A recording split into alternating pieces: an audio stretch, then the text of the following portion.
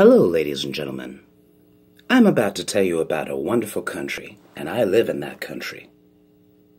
It's the United States of America. Let me show you just how wonderful America truly is.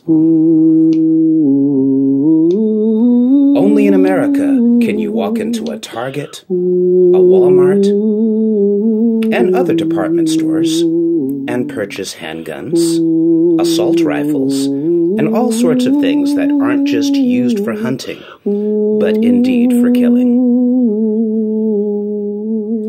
Only in America has racism not only become a regular thing, it has become the law. Only in America can we separate families from each other just by claiming that they are here illegally. Thanks a lot. Only in America is sexism not only commonplace, but it is rampant. Only in America can you possibly get arrested and taken to jail or prison for feeding the homeless. This is a wonderful and I'm proud to be a part of it.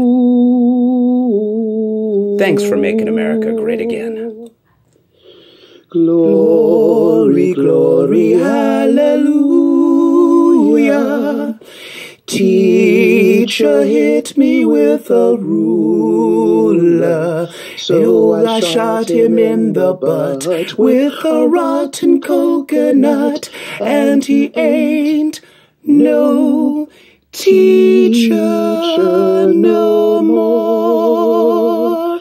America, America, America.